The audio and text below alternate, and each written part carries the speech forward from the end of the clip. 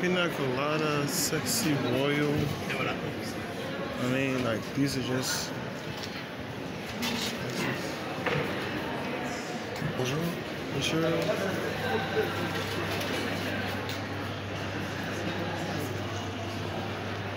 Là en dessous.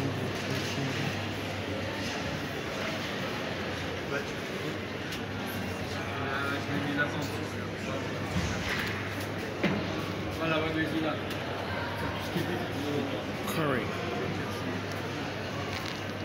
Il faut aussi le savoir tous les ans Creativa.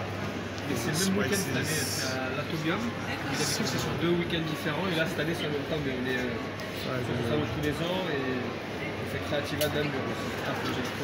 Ok. Voilà, Merci, au revoir. merci, à bientôt. Merci.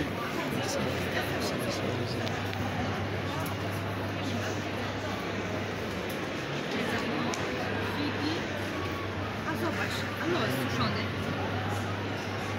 All these different types. No to raczej tak, ale nie widziałam, pierwszy raz widzę. Hey, Rocky, oh, I got a catch up for they get it. Oh, well, honestly, yeah. Based on Rocky, though. Maybe we can cool it, Rocky, and everybody can have peace, peace.